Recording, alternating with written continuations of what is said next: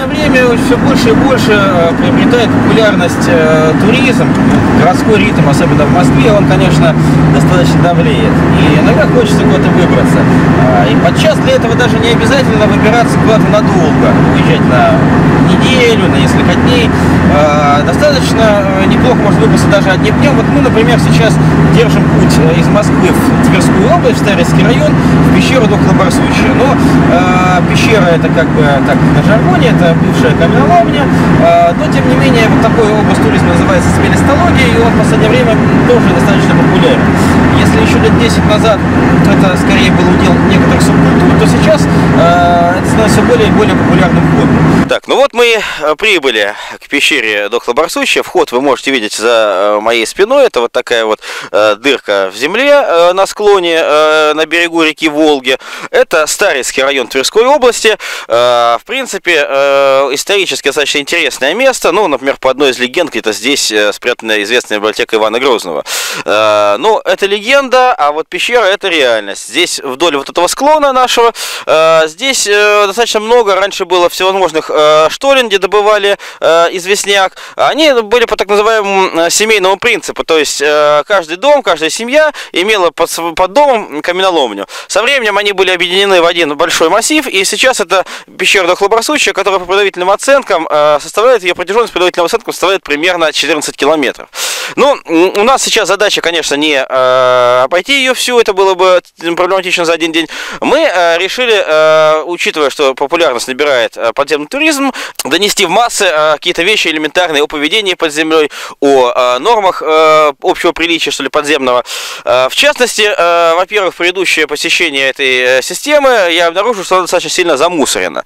К сожалению, это большая беда, беда во- вообще туризма. Бывает, что и водники часто что-то там выкидывают, и пешие туристы, но это добро до, пещер.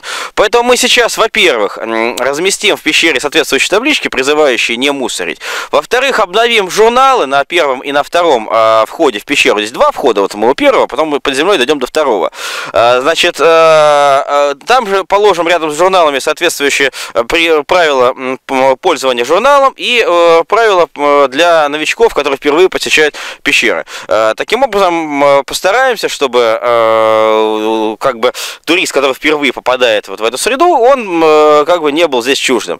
Вот. Но об этом мы поговорим уже э, в пещере, а сейчас мы э, берем э, наши штурмовые рюкзаки с легкие, мы без ночевки, мы буквально вот на один день с э, значит, э, легкими рюкзаками, э, вот, и загружаемся вот сюда, э, значит, в пещеру.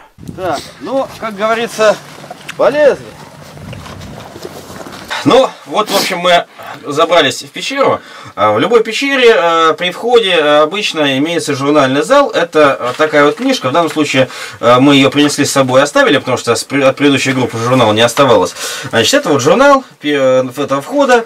Вот здесь надо отмечаться, что вот мы забросились, мы отметили, что пришли, значит, отметили, что пришли просто как бы погулять, вот, и когда будем выбрасываться, что мы до вечера выбросимся. Значит, если вдруг группа не выписалась, значит какая-то беда, они заблудились, э, или не дай бог обвал, и их надо искать.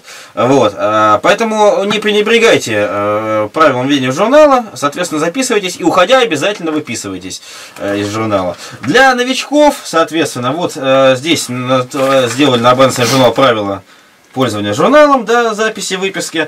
Вот, они же есть у нас, собственно говоря, здесь повесили среди табличек. Здесь э, очень коротко, буквально там на один лист А4 основные правила поведения под землей. Из разряда ходи в каске, имеет два фонаря и в два раза больше запас э, света, чем временно, когда ты планируешь идти. Вот, ну и отдельно наш сегодняшний, как говорится, э, основной э, аргумент, не даже наша цель основная, это э, противоборство э, мусору, противоборство, э, как бы, скажем так, э, Um, захламлению пещеры. Вот есть соответствующие таблички. И такая имеется, и даже вот тут в стихотворной форме имеется. Вот. И вот таким злобным дедушкой имеется. Вот. Мы их всех поставили на входе здесь, чтобы люди сразу это могли видеть и знать. Э, Ну и, соответственно, на втором входе мы сделаем то же самое. На втором входе в эту пещеру. Вот. И э, в гротах это сделаем. Но сейчас мы попробуем пройти до грота Лена. Это центральный грот так называется в этой пещере.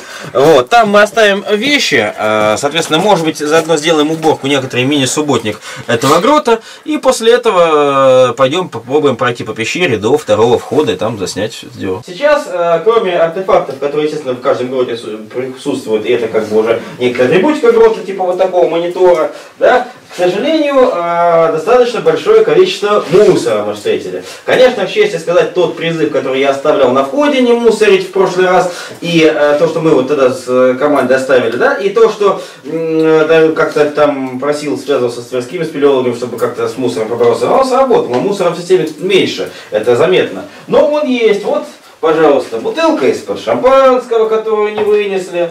Вот у нас здесь Пожалуйста, разжига лежит, бутылки из-под разжиги, которые никто никуда не вынес. А эти пленки, они нужны, это пленки не мусор, это как раз э, вода, чтобы стекала. Вот. А вот э, такого типа мусора есть. Так что э, для начала мы сейчас соберем на этом гроте мусор, сделаем э, небольшой субботник, Э, и э, вынесем э, мусор на поверхность, чтобы потом его увезти в Москву. Вообще мусор, в принципе, в пещерах, его, вот когда вы едете в пещеру, его собрали, как в любом походе, и увезли. Вы же как-то все это заносили на себе в пещеру, так, значит, можете обратно унести, пачка там мусора-то поменьше, чем припасов.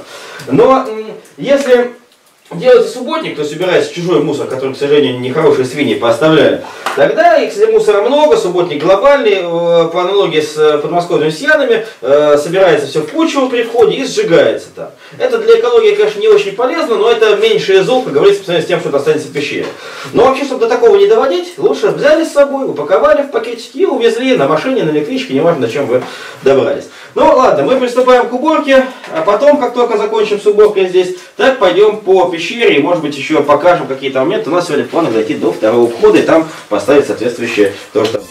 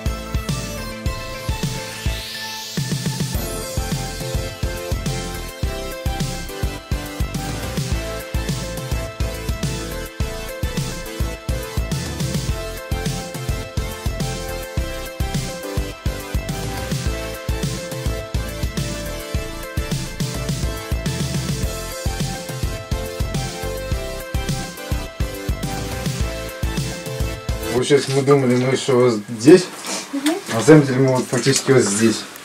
Ну, Там есть надпись Морс или что-то такое. Где? Там что за надпись?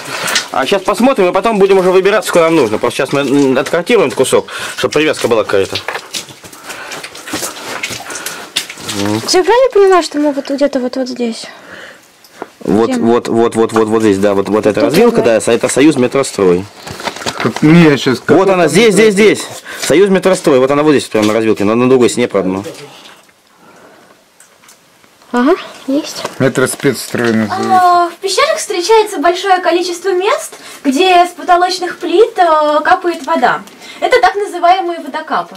Вода, проходящая с поверхности, фильтруется через несколько слоев э, известняка. И, собственно, капает э, с потолочных плит, полностью пригодная для питья. В таких местах спелеологи обычно оборудуют места специальной посудой, железными или пластиковыми мисками. Если вдруг у вас в пещере закончилась вода, если вы зашли на большее время, чем ожидали, то воду из водокапов спокойно можно пить, она чистая, пригодная для питья. Вот, собственно, я даже ее сейчас выпью.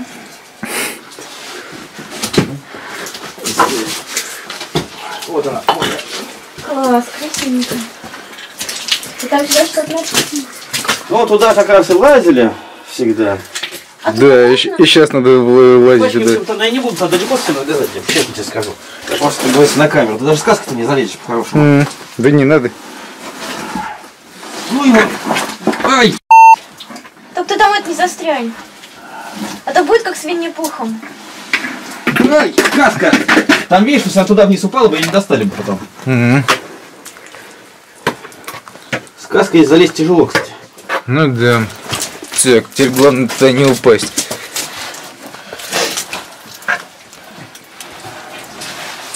Это кишка? Так, ну все, хорош. Mm. Ну, ребят, кто хочет, можете залезть, конечно. Давайте. Я хочу. Давай. Ну, полезли, что, до, до конца дорога.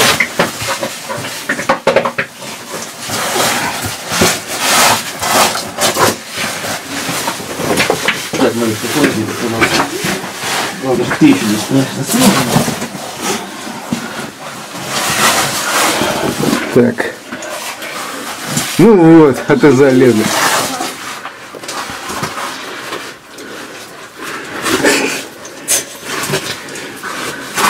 Ну тебя, походу, делать легче всего. Ну да. Ну вот если... Сейчас я вам и постараюсь передать. Так, чтобы она снимала. Конечно, мокрый на Слушай, подбери, пожалуйста, Жень, камеру, чтобы не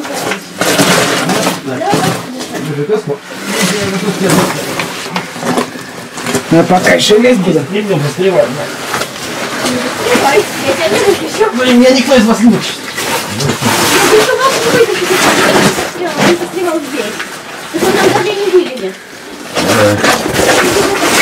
Так не. А я снимаю фильм о том, как снимают. Ага. Да, я тут расположилась третьим ярусом. Молодец. Так. Так, ты в меня. Это... В общем, если на вас упадет мой телефон, Так, ну все, я сейчас буду прекращать съемку, что я тут не помещаю, что с тобой вместе. Что говоришь? Я говорю, сейчас с тобой вместе там не помещаю.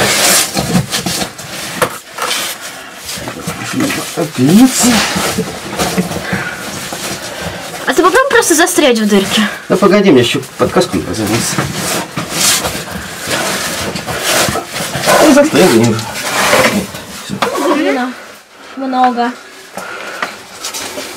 О, прям на камеру падает вода. Чего-чего? Это белая глина или какая? Не знаю.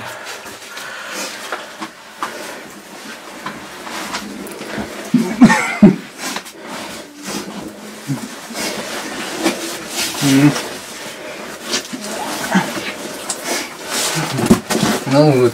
Значит, мы с грехом пополам, пройдя через несколько маршрутов, там, полазив в каких э, местах узких, интересных и так далее, дошли от э, первого входа до второго входа в пещеру ДХБ. Вот, собственно говоря, этот вход. Его ребята сделали в виде колодца. Сверху он закрывается от осадков. Э, достаточно получилось э, неплохо. Единственное, что очень скользко. Внизу аккуратно, кто будет спускаться, не упасть. Вообще, кажется, первый вход старый мне понравился больше, честно говоря. Но в пещерах такого типа, как ДХБ, где, которые подвержены обвалам и которых не так много э, людей бывает, э, да, то есть э, наличие двух входов, а это, в принципе, принципиально важный момент с точки зрения, по крайней мере, безопасности э, туристов под землей. Вот, ну и мы, соответственно, исправили недочет, мы положили также журнал здесь на входе, на втором, и также положили памятки новичкам и таблички, призывающие не мусорить. Но заодно, м, это в кадр не попало уже, мы по дороге аналогичные таблички оставили в некоторых других гротах. А сейчас мы собираемся дальше идти на лагерь и по дороге продолжим уточнение карты. Дело в том, что на карте, которая имеется, которая в общем доступе есть в интернете, э, есть не все э, надписи, которые э, нужны для ориентира в пещере. Вот. Вообще-то это работа глобальная, ее по хорошему счету надо делать долго, упорно, и не за один день, не наскоком. Но, как говорится, некоторое начало положили, обязательно опубликуем эту карту потом где-то в интернете уточненную. Вот. Но это как капля в море, соответственно, чем больше, чем дальше, чем бу- будем ходить, будем мы что-то, может быть, делать там с нашим отрядом, и, может быть, и другие спелеологи подключатся, тоже как-то э, сделают карту более пригодной для ориентировки под землей. Вот. Ну все, на сим мы опять отправляемся вниз.